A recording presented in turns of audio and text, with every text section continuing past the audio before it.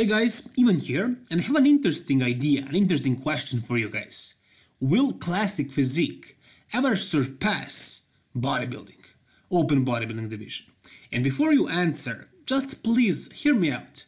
I'm sure many of you won't even listen to 15 seconds of this video, and you will just reply to the title or the thumbnail and be like, oh no, bodybuilding is the best, that's the bread and butter of the sport, mass, mass, more muscle, uh, so please don't be like that.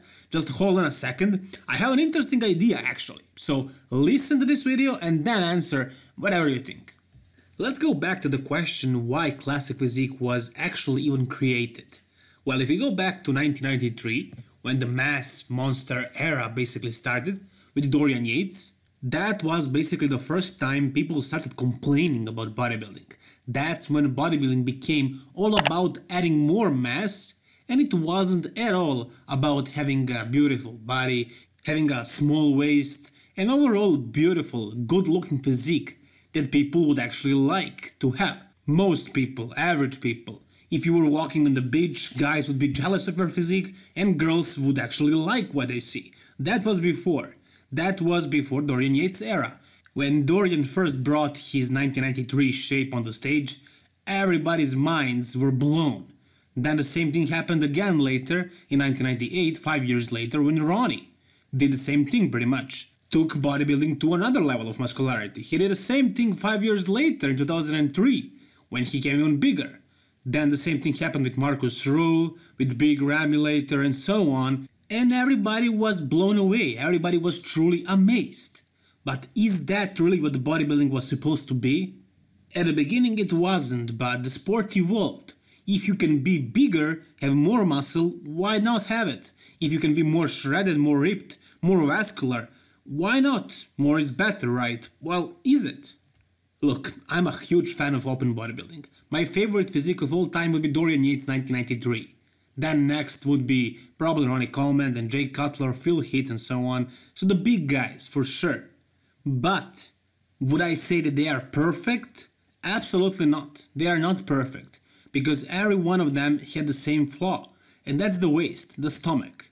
Having a small, tiny waist makes your physique look so much more impressive. But can you really be 260, 70, 80 pounds shredded on stage and have a 30 inch waist or something like that? It's impossible. If you grow, you grow. If your arms grow, if your back grows, if your chest and legs grow, your waist will grow as well. There is no way around it. It will happen. Who can argue with me that Ronnie Coleman, uh, at 280 pounds, wouldn't look better if his waist was 5 or even 10 inches smaller? But that is just wishing for things that probably won't ever happen. Or will they? Now let's actually talk about classic physique. So, why was it created? It was created because many, many bodybuilding fans were complaining about midsections of bodybuilders that were extremely distended, and bodybuilders weren't even trying to control them. Audience didn't like this, people hated it. So, instead of fixing bodybuilding, they just created another division, which is called classic physique, of course. And right here I'm actually getting close to my point. So first year, classic physique, the winner was Danny Hester who wasn't much of an improvement really. All he had, different from the bodybuilders, was a flat stomach. There was no bubble gut. That was the time when he saw no bubble gut on a bodybuilding stage, quote unquote bodybuilding, because it's still called physique. But uh, as far as second and third place, second was Arash, third was Sadiq Hadzovic, whose legs were pretty soft and he didn't really have the best symmetry, he didn't have the best lines, he didn't really have the best, the optimal classic physique, of course. That was just the first year of classic physique. Nobody yet knew what classic physique even was. Everybody was still doubtful. Men's physique guys were happy in their division, bodybuilders were happy in their. The guys who were kind of in the middle weren't really exactly made for either one of them, got into classic, and year after year it was better and better. In 2017, the new winner was Breon Ansley, In 2018, same thing again. And later, it was Chris Bumstead. So we got from Danny Hester to Breon Ansley, finally to Chris Bumstead. So the progress that classic physique as a division made in only four years is rather obvious. Just look at the top six today. How more gifted the guys are in 2019 than they were in 2016 when the division was actually created. Not only that we get more talented bodybuilders doing the classic physique, we also have bodybuilders who have been training for the classic physique division for at least four years since it started. With more training towards this goal, you will create a better classic physique. So that is another reason why the division grew, why it improved.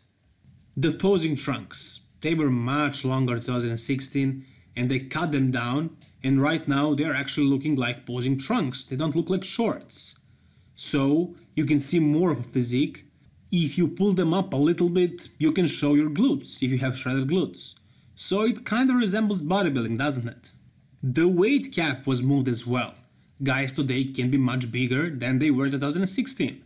Poses like front lat spread, back lat spread, and side tricep, and also most muscular, are not mandatory poses in classic physique, which I don't like and I'm sure this will also change. Many people are criticizing this part of classic physique, so I'm sure in a year or two you will have these poses back. Maybe not the back lat spread, maybe not most muscular, but the front lat spread and side tricep, for sure, for sure. The division has evolved so much in only 4 short years. Imagine what it will look like in 10 years, 5 years, let's say 15, 20 years from now. Arnold had a good point when he said that the judges should be judging bodybuilders based on whose physique they would rather have. If that was the criteria, the results from the shows in the past who knows how many years would be much different. But we can kind of see that in the classic physique, especially this year, 2019, with Chris Bumstead, the tall, wide shoulder guy, winning the show. And with having that kind of a champion, the interest in overall bodybuilding and especially classic physique in the world grows. So, with so many new people getting into the industry, with so many options to choose from, I'm sure most people will actually choose the classic physique.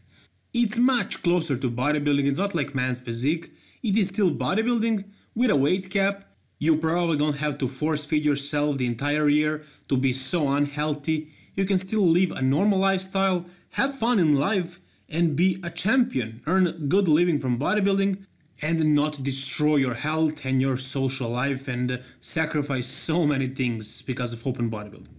So, with years, I'm sure classic physique will become a bigger division, more popular, and more people will actually be competing in it. It won't be reserved only for the genetic elite, only for the people who can grow 300 pounds of muscle, but it will be rather available for everybody so if you're a fan of bodybuilding and you're wondering how would you look like if you got a lot of muscle and got shredded and learned how to pose properly, you could do that and you can, if you are lucky, become a classic physique champion, right? So with a couple of years, with a couple of decades perhaps, with the bodybuilding and fitness industry moving towards that direction, I'm pretty sure that classic physique will become more popular division than the open and it will become probably the main division. Also, I'm pretty sure that they will actually increase the weight cap, so the classic physique guys can be bigger. And since they actually do have a weight cap, I'm sure everybody will try to get shredded to the bones. It won't be anything like Brandon Curry type of conditioning.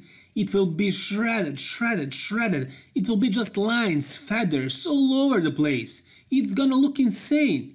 It will just take a couple of years or a couple of decades of evolution, and with more options to choose from, we will definitely choose some of the most genetically gifted bodybuilders of all time who will actually be competing in the in the classic physique division. And imagine if guys like Phil Heath actually were competing in classic physique. If they actually stayed classic, if their waist stayed smaller, if they were actually able to monetize bodybuilding from another division, a smaller division, so they wouldn't have to sacrifice their health.